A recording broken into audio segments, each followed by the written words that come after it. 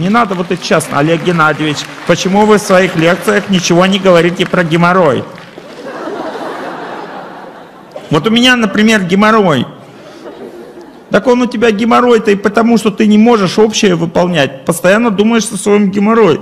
Если думать о геморрое, он растет все больше и больше. Почему? Потому что туда входит энергия сознания. Да, энергия сознания туда входит, она начинает там действовать. Расширяет объект. Например, девушка постоянно думает о своем лице. Думает, думает, лице становится все чувствительнее, чувствительнее, потом вообще никакие крема не подходят. Да ладно, честно говорю.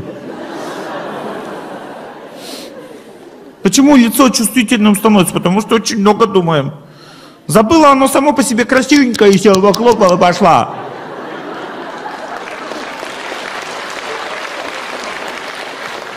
А почему лицо красивенькое? Потому что о Боге думает. Когда цветочек, когда пчела летит к нектару, она потом обвалялась с нем, полетела. В чем она? В нектаре. Как пахнет? Вкусно. Когда человек занимается по своей природе, он служит святости, он становится вкусным. Если вы проверьте, это вам домашнее задание, зайдите в дом к людям, которые поклоняются Богу. Заходите, чистота. Как внешне, так и внутренне. Люди принимают тебя с любовью. Они хотят, чтобы ты в дом пришел. Почему? Потому что там есть счастье. И они хотят тебе его показать. Есть второй вариант – что надо? Мы не договаривались о встрече. Нечего показывать, значит. Итак, дома должен быть алтарь. Смотрите, есть объект поклонения. Два объекта поклонения дома в основном, таких внешних. Первый телевизор, второй бутылка. Смотрите, бутылку ставить посреди стола. Когда самое важное событие, клятва, когда люди произносят клятву, они, знаете, в древней культуре, когда клятву человек произносил, он брал икону, вот так держал и, под, и говорил клятву. То есть он самое святое брал в руки и говорил клятву. Сейчас, чтобы клятву взять, люди тоже берут самое святое.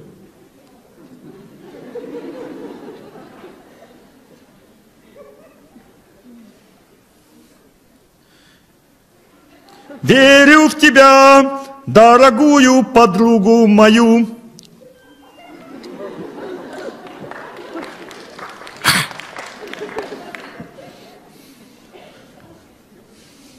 Вот и все. Вторая вера это телевизор. Там, там наше счастье, там. Приходишь и счастье там ищешь в телевизоре. Это означает вера. Где ставится в углу, где алтарь стоял, там и телевизор теперь. Это называется подмена. Смотрите, из нас делают сейчас пространство, я не говорю, что это какой-то заговор, нет. Это просто мы сами тупые немножко. Пространство, жизнь, в котором мы живем, делает нас, смотрите, мы потребители энергии. То есть, смотрите, разум действует как сила, которая сама из себя что-то производит. Вот раньше люди как жили?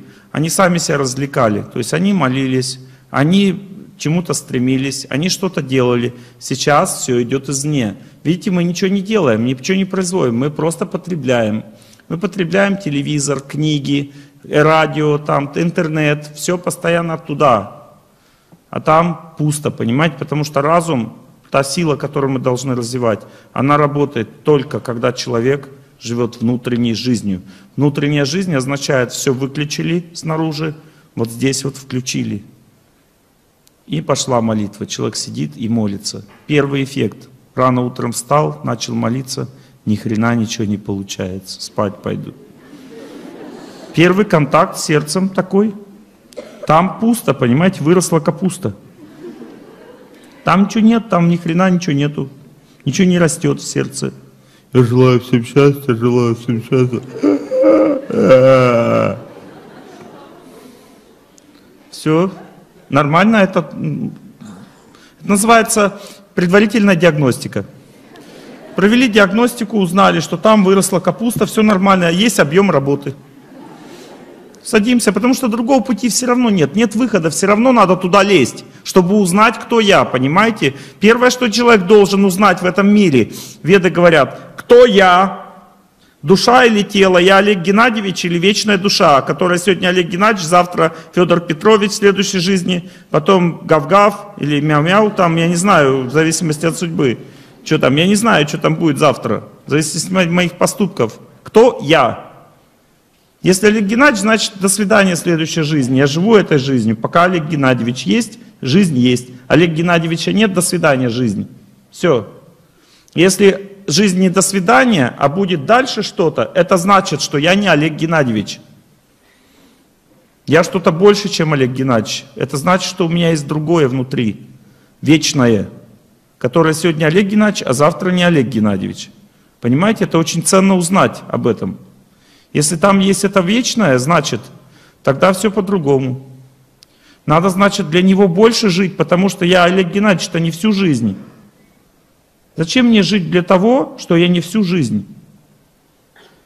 Вот, допустим, я в трамвае еду на сиденье и начинаю, допустим, все, это сиденье, мы сейчас с ним будем жить в этом сиденье. Мы будем как бы постоянно друг с другом. Потом раз, вышел из трамвая и думаешь, нет, я буду здесь всегда сидеть, на этом сиденье. Но это временно. Ты посидел на этом сиденье, следующее будет уже сиденье. Понимаете, время тела временное, мы в нем временно находимся в этом теле. Непостоянная вещь. Да, его надо поддерживать, нужна и семья, нужна работа, все это нужно, это факт. Без этого жить невозможно. Но если ты не молишься, отношения вечные не устанавливаешь, себя как вечное существо, не хочешь понять, почему как вечное, сейчас объясню. Потому что с Богом вечное отношение, со святостью вечное отношение, с верой вечное отношение. Когда ты это не изучаешь, жизнь пустая.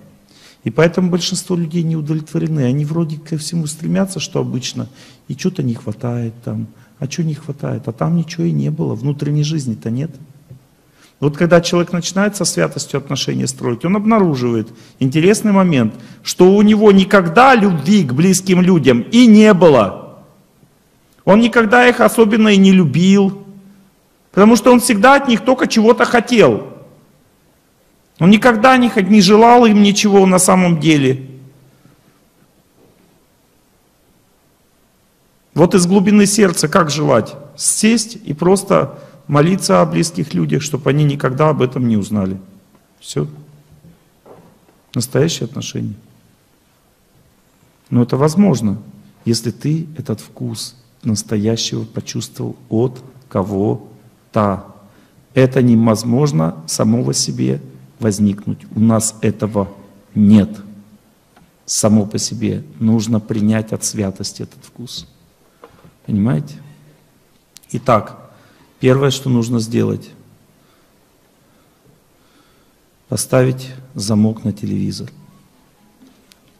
К чему человек привязан, оттуда он и живет. И подальше от бутылки. Подальше от бутылки.